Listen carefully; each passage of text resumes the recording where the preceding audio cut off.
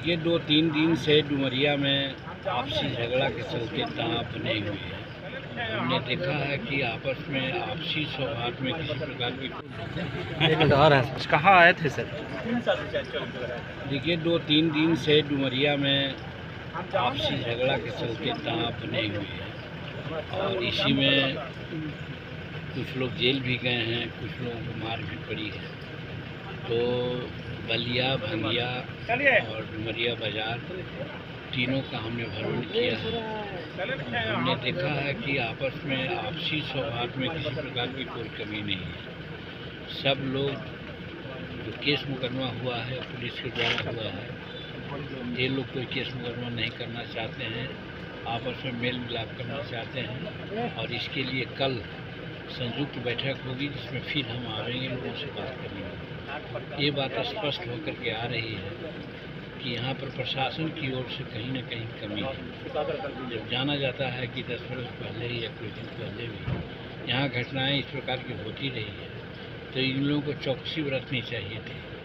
जो हंगिया से तजिया चला, वो कहीं कोई उसको देखने वाला नहीं था। अपने आप वो लोग आ रहा था, इसी में सारी बातें हुई। अगर वहाँ पर पुलिस प्रशासन के लोग या शांति समिति के लोग रहते तो शायद ऐसी घटना नहीं होती। और शांति समिति का गठन यहाँ भी जो हुआ है। उसमें कुछ वैसे ही लोग हैं जो थाना से बड़ी नज़दीकी हैं, और जो वाकई रिप्रेजेंटेटिव हैं, उनका नाम नहीं दिया गया और यही कारण है कि शांति समिति यहाँ का कमज़ोर है।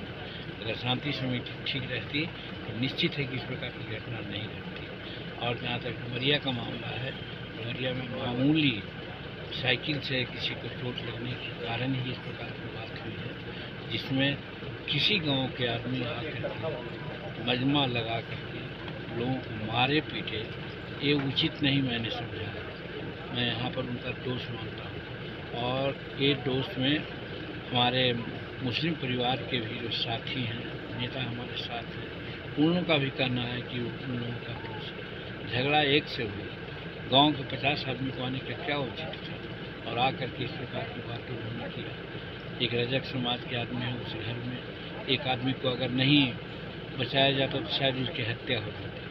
तो इस प्रकार से यहाँ टेंशनाइज किया कोई गाँव वाले आकर तो उसको तो समझना होगा, प्रशासन को भी समझना होगा। इसीलिए मैं समझता हूँ कि जितने प्रशासन के लोग केस मुकदमा किया है, वो केस चोट लगने के कारण ही लोग बतलाते हैं कि केस हुआ है। तो जहाँ लड़ाई होती है या कोई प्रकार की अप्रिय घटना घटती है, वहाँ ढेलाबाजी या पत्थरबाजी होती है तो बहुत लोग बचाने के लिए भी जाते हैं, जिनको भी चोट लगती है तो उनको भी पकड़ के जेल भेज दिया गया। ये तो गलत है। उसमें एक प्रदीप नाम करके सब इंस्पेक्टर की बात आ रही है। उनका कहना है कि वो गलत तरीका से सब लोगों को टेरराइज करते हैं और इस तरह की बात करते हैं। हम इस चीज़ को सीनियर लोगों से बात करेंगे और फिर यहाँ अंचल अधिकारी के बारे में मालूम हो है कि वो भी यहाँ कुछ गड़बड़ कर रहे हैं। और ज़मीन यूनिवर्सिटी में, परमाना में भी कुछ ऐसा कर रहे हैं जो गरीबों के साथ होना चाहिए, उसको न हो करके अपने चेहते लोगों के साथ उन्हें परमाना देने का काम कर रहे हैं। उसका साक्ष्य हमारे पास आ रहा है। और दो तीन साक्ष आ जाएगा तो उनके अगेंस्ट में भी हम रेवन्यू विभाग में लिखेंगे कि ताकि इस तरह की घटना न घटे उस ज़मीन परमाना के चलते भी आगे आने के दिनों में अगर ऐसा करते रहेंगे सीओ तो हो सकता है उसके चलते भी यहाँ पर अशांति फैल सकती है। तो यही हम महसूस किया है और इसको पूरा करने के लिए ठीक करने के लिए कल पुनः हम आएँगे और दोनों पक्षी लोगों से बात क्या कुछ आपके जत्था को रोकने की भी बात सामने आ रही थी? क्या कुछ ऐसा मामला? नहीं कोई बात नहीं ऐसा है। हम हम लोग चले वहाँ से आ रहे थे। तो प्रशासन के लोगों ने कहा कि यहाँ पर अभी लोग जाम किए हुए हैं। हम समझा रहे हैं। समझ जाएँगे लोग। थोड़ा देर के पास आइएगा। तो हम मैगरा आई टी आई में थोड़ा देर बैठ गए, चाय पिए और उसके बाद हम आए। इसलिए हमारे जत्था को रोका नहीं है। हम खुद ये समझ के कि हम जाएँगे, ऐसा भी हो सकता है। कोई अपना समझ के ज़्यादा आह्लादित हो सकता है, उत्साहित हो सकता था। कोई हतोत्साह भी हो सकता था। तो ऐसा करना हमारा जनप्रतिनिधि का काम नहीं था। हम दोनों को मिला के काम करना चाहता वैसे में प्रशासन को हमने भेजा एस को कहा कि एस को कहा वो लोग आए और मामला को ठीक किए तो फिर हम आकर के अपना महागठबंधन के लोग आरोप लगा रहे हैं कि इस मामला में एनडीए को उस्काने का आरोप लगा रहे हैं। ये ऐसा महागठबंधन के लोग अगर कहते हैं तो उनकी बात है।